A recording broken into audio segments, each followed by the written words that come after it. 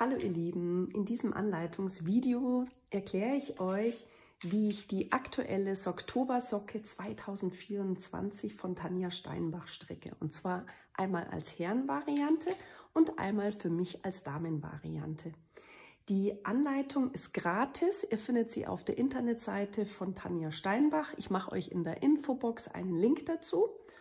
Und ich erkläre euch ganz genau und zeige euch, wie ich das Bündchen stricke, wie man dieses Strukturmuster versteht, also wie man das Diagramm versteht. Und dann könnt ihr schon mal so weit stricken wie ich. Und danach gibt es noch einen Teil 2 und da zeige ich euch dann, wie ich mit der Bumerangferse weitermache. Ich wünsche euch viel Spaß beim Stricken. Ich stricke euch jetzt das Bündchen vor. Das ist ein vierfach Sockengarn. Das ist die Größe 42-43 mit insgesamt 64 Maschen. 64 Maschen aufgeteilt auf äh, vier Nadeln macht also 16 Maschen pro Nadel. Die ist für meinen Mann.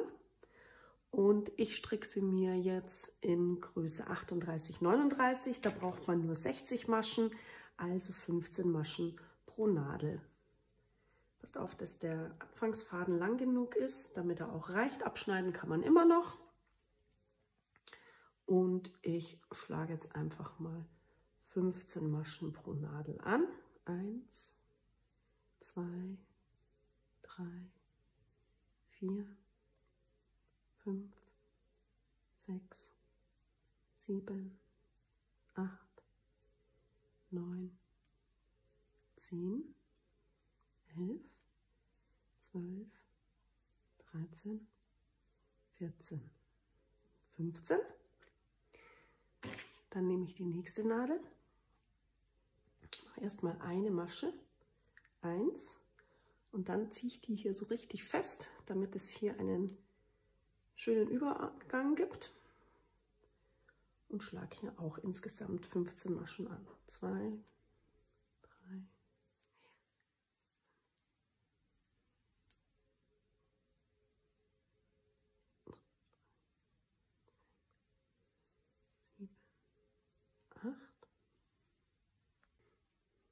Ich habe jetzt meine 60 Maschen, also 15 pro Nadel. Und jetzt wird das Ganze zur Runde geschlossen. Und da mache ich jetzt so, weil bei mir der Anfangsfaden doch recht lang ist, den werde ich jetzt abschneiden, weil mich das sonst stört.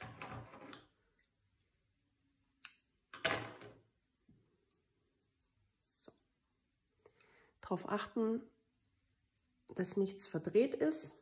Also hier sieht man den schönen Rand. Der muss natürlich außen sein. Und jetzt steht in der Anleitung, dass wir 10 Runden im Bündchenmuster 1 stricken. Bündchenmuster 1 bedeutet zwei Maschen rechts, zwei Maschen links.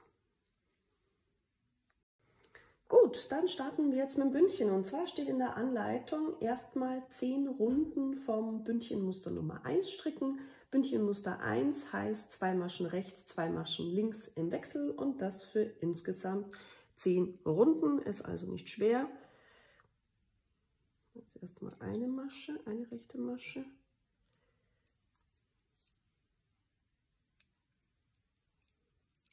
Hoppala ziehe mir die hier fest und dann strecke ich, wie gesagt, zwei Maschen rechts, zwei Maschen links im Wechsel und das insgesamt für zehn Runden.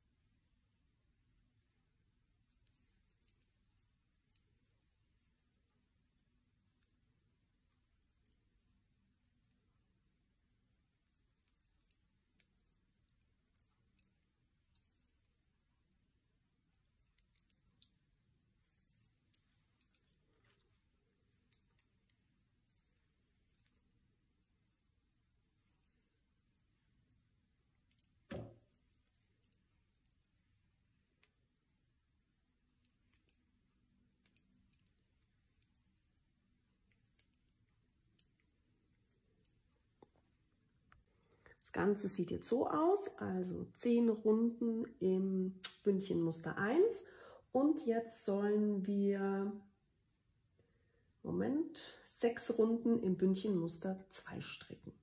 Bündchenmuster 2 bedeutet erste Runde eine Masche rechts, eine Masche links im Wechsel. Also ganz einfach. Ich stricke es euch kurz vor. Hier ist mein Rundenanfang. Also eine Masche rechts, eine Masche links. Und das fortlaufend eine Runde lang.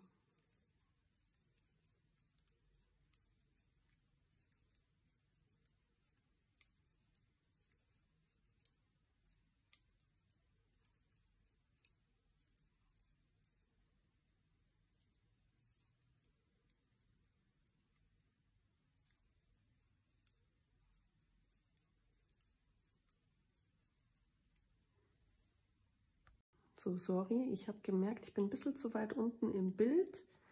Also jetzt nochmal hier in voller Größe und schön langsam immer eine Masche rechts, eine Masche links.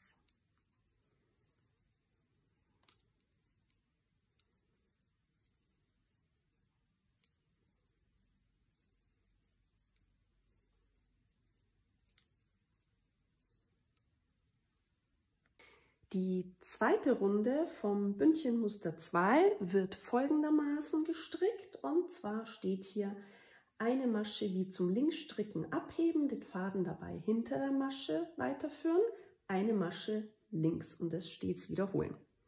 Also, eine Masche wie zum Linksstricken abheben, das bedeutet, wir müssen von rechts einstechen, so als würden wir eine linke Masche stricken. Wir heben die Masche einfach nur ab und achten darauf, dass der Faden hinter der Masche bleibt. Also eine Masche abheben und die zweite Masche links stricken. Masche abheben, Faden nach hinten, eine Masche links. Und ihr seht, ihr seid hier genau drüber. Also immer wenn hier die rechte Masche von der Vorrunde ist, die wird abgehoben, dann kommt die linke Masche und auch hier wird eine linke Masche gestrickt. Das machen wir jetzt eine Runde lang.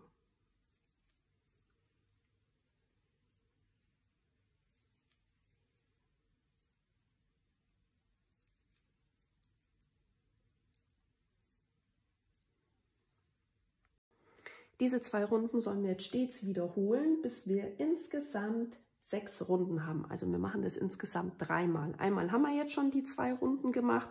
Jetzt starten wir zum zweiten Mal, also wieder Runde 1, eine Masche rechts, eine Masche links und auch hier seht ihr wieder, es ist alles übereinander. Wenn hier die linke Masche kommt, kommt die linke Masche. Wenn hier vorher diese Hebemasche war, beziehungsweise diese rechte Masche, dann ähm, eine Masche rechts. Das mache ich jetzt mal eine Runde lang.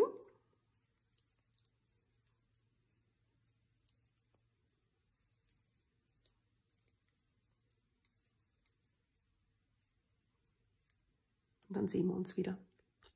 Jetzt kommt wieder die zweite Runde von dem Bündchenmuster 2. Eine Masche abheben, also hier einfach von rechts einstechen, Faden nach hinten, eine Masche links. Eine ganze Runde lang. Dann haben wir insgesamt schon vier Runden gestrickt und dann wiederholen wir das nochmal. Also die Runde 1 dann nochmal mit einer Masche rechts, eine Masche links und nochmal die eine Runde abheben und immer eine Masche links. Und dann haben wir insgesamt sechs Runden gestrickt und sind mit dem Bündchenmuster 2 auch fertig.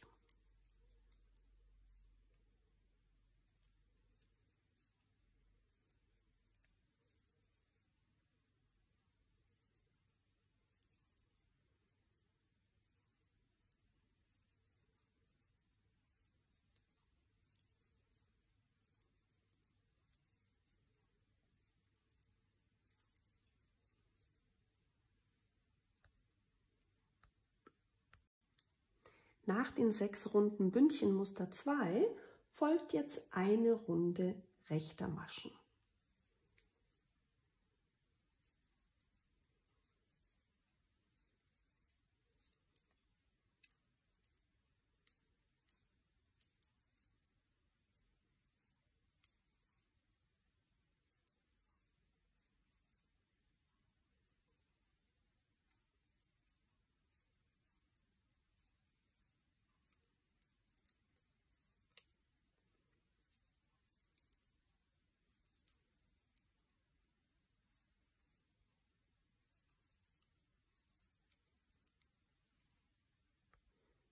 Danach kommt eine Runde linke Maschen.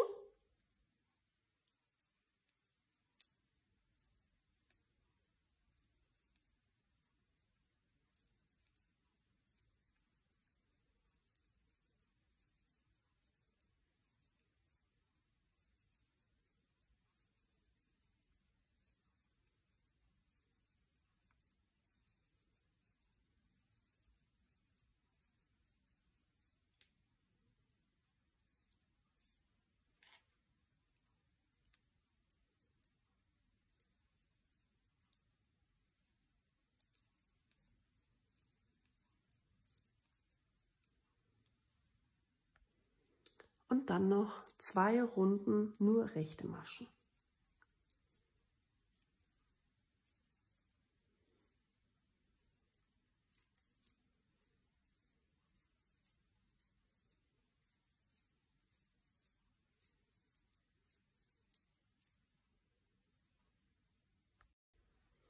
Somit sind jetzt beide Bündchen fertig. Also einmal hier für meine Größe 38 und einmal hier für meine Größe 42.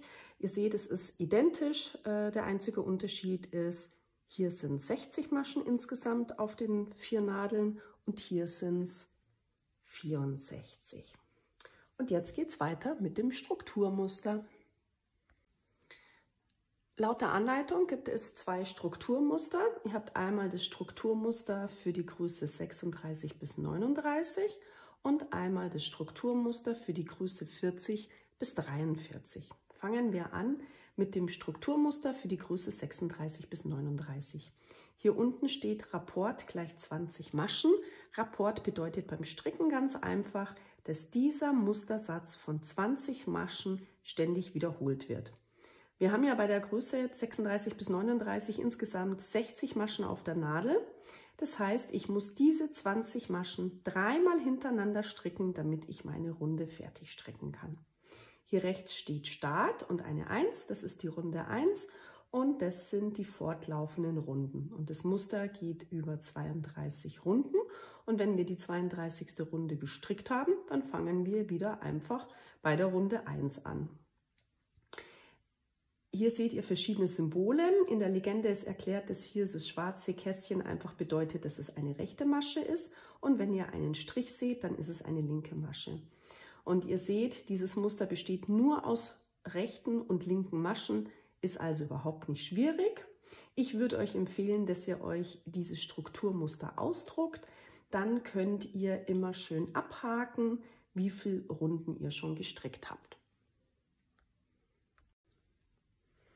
Jetzt schauen wir uns das Strukturmuster für die Socke Größe 40 bis 43 an. Da besteht der Rapport nur aus 16 Maschen statt 20 Maschen. Das heißt, ich habe ja bei der großen Socke insgesamt 64 Maschen, pro Nadel 16 Maschen. Das heißt, ich stricke diese 16 Maschen pro Nadel ab und das mit allen vier Nadeln. Und dann habe ich auch meine Runde fertig. Und hier besteht äh, das Muster nur aus 24 Runden. Das heißt, wenn ich hier oben bin bei der 24. Runde, dann fange ich hier wieder an mit der Runde 1.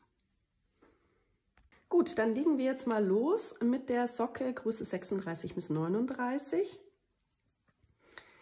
Jetzt habe ich ja hier einen Rapport von äh, 20 Maschen, habe aber nur 15 Maschen auf der Nadel. Ich mache es jetzt so, damit ich nicht den Überblick verliere. Ich fange jetzt einfach von rechts an, stricke jetzt hier meine Maschen. Und wenn ich dann hier bei der zweiten Nadel bin und habe hier die fünf Maschen abgestrickt, sodass ich hier mit dem Rapport fertig bin, dann setze ich mir einen Maschenmarkierer, nur damit ich einen besseren Überblick habe, wann wieder der Rapport von rechts anfängt. Ich zeige es euch einfach mal. Also, ich gucke mir das jetzt einfach mal an und zähle das jetzt mal durch. Ich habe hier in der Runde 1, habe ich insgesamt 1, 2, 3, 4, 5, 6, 7. 7 rechte Maschen, dann stöcke ich die jetzt einfach schon mal. 1, 2, 3, 4, 5, fünf, sechs, sieben. Dann kommen eins, zwei, drei, vier, vier linke Maschen. Eins, zwei, drei, vier. Dann kommt wieder eine rechte Masche.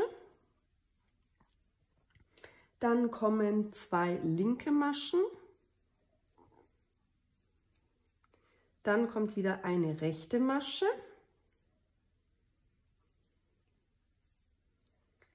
So, jetzt kommen die letzten fünf Maschen, zwei linke.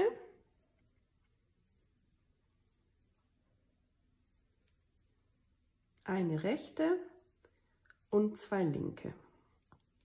Und damit ist der Rapport von 20 Maschen gestrickt und jetzt hänge ich mir hier so einen Maschenmarkierer rein und weiß, dass ich wieder von rechts beginne mit dem Rapport.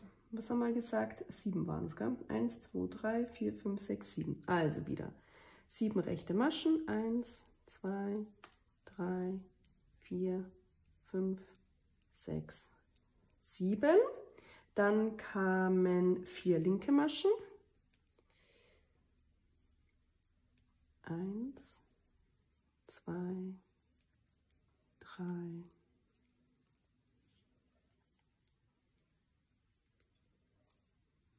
vier. Dann kam eine rechte Masche, zwei linke, wieder eine rechte, zwei linke, wieder eine rechte und zwei linke. Dann sind die 20 Maschen vom Rapport fertig gestrickt. Dann mache ich mir hier wieder einen Maschenmarkier rein und jetzt mache ich zum letzten Mal diese Musterfolge. Starte also wieder von rechts mit sieben rechten Maschen. Eins, zwei, drei, vier, fünf.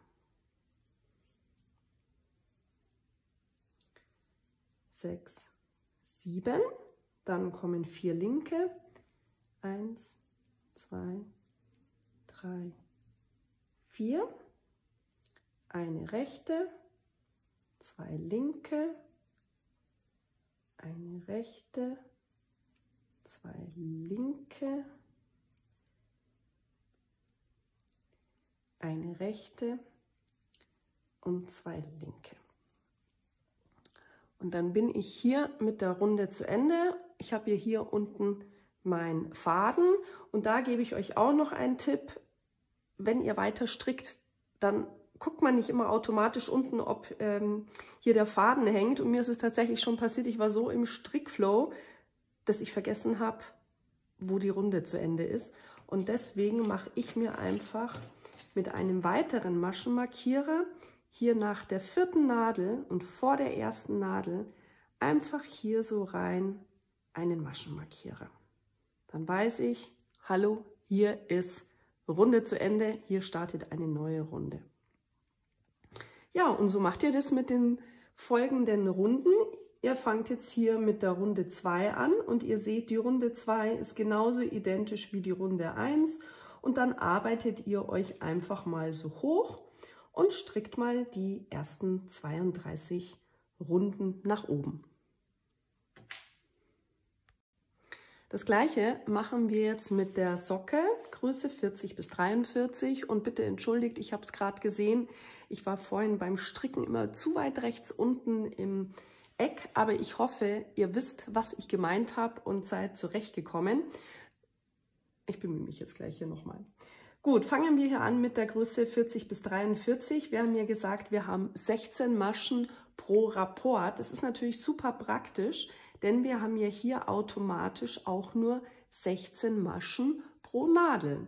Das heißt, wenn ihr die größere Größe strickt, ist das Ganze schon mal viel einfacher, denn ihr müsst euch hier nicht irgendwie so Maschenmarkier reinsetzen, sondern ihr wisst, ihr strickt immer hier das Muster einfach ab und dann fangt ihr eine neue Nadel an. Dann schauen wir uns das mal an. Und zwar starten wir hier mit 1, 2, 3, 4, 5, 6 rechten Maschen. Hier ist mein Rundenanfang. Eins, zwei, drei, vier, fünf, sechs. Dann kommen vier linke Maschen. Eins, zwei, drei, vier. Dann kommt eine rechte Masche, zwei linke Maschen, wieder eine rechte Masche und zwei linke Maschen. Die 16 Maschen sind abgestrickt. Ich starte mit der nächsten Nadel. Auch wieder von rechts und mache meine Runde fertig. Also ganz einfach. Ich habe die erste Runde zu Ende gestrickt und auch hier mache ich so, ich mache mir hier einen Hilfsmaschenmarkier rein, damit ich auch wirklich nicht übersehe, hallo, hier ist die Runde zu Ende. Und auch hier mache ich es jetzt so, ich stricke jetzt mal die ersten 24 Runden nach oben und dann zeige ich euch, wie das Ergebnis aussieht. Ihr Lieben, ich habe jetzt die Runde 1 bis 32 fertig gestrickt und natürlich ist jetzt der Schaft zu kurz. Das heißt, wir müssen noch mal weiter stricken und ich zeige euch jetzt mal meine erste Socke. Die ist ja schon fertig und wenn ihr das jetzt mal daneben legt, dann seht ihr, die Runde 1 bis 32 geht hier bis hierhin und dann habe ich nochmal Runde 1 bis 26 bis hierhin gestrickt, denn dann geht es auch schon los mit der Bumerangferse. Ich habe mir das jetzt mal aufgeschrieben. Also Strukturmuster für 20 Maschen, Größe 36 bis 39, erstmal Runde 1 bis 32 und dann im Anschluss nochmal die Runde 1 bis 26. Das werde ich so stricken und dann zeige ich euch, wie ich die Bumerangferse angefangen habe. Bei meiner Herrensocke habe ich jetzt Runde 1 bis 24 gestrickt. Und wenn ich hier meine fertige Socke daneben lege, dann bin ich jetzt hier auf dieser Höhe. Und ihr seht, ich habe dann einfach die Runde 1 bis 24 nochmal gestrickt, bis ich mit der Bumerangferse angefangen habe, weil ich ja hier bei dieser Variante vorne am Fuß überhaupt kein Muster gestrickt habe. Hm, Normalerweise sagt man bei Herrensocken, dass der Schaft so 18 cm lang sein soll. Wie ihr seht, ist mein Schaft jetzt für die Herrensocke nur 14 cm. Ich würde es tatsächlich, wenn ich es nochmal stricken würde, anders machen. Ich habe es jetzt mal aufgeschrieben. Strukturmuster für 16 Maschen, Größe 40 bis 43, also erstmal Runde 1 bis 24 und dann habe ich nochmal eine Runde 1 bis 24 hinzugefügt und ich würde euch empfehlen, wenn ihr einen längeren Schaft haben wollt, also mit circa 18 cm, dann macht die Runde 1 bis 24 ein drittes Mal dazu. Nachdem ich jetzt aber schon meine erste Socke fertig habe, muss ich die natürlich jetzt gleich machen.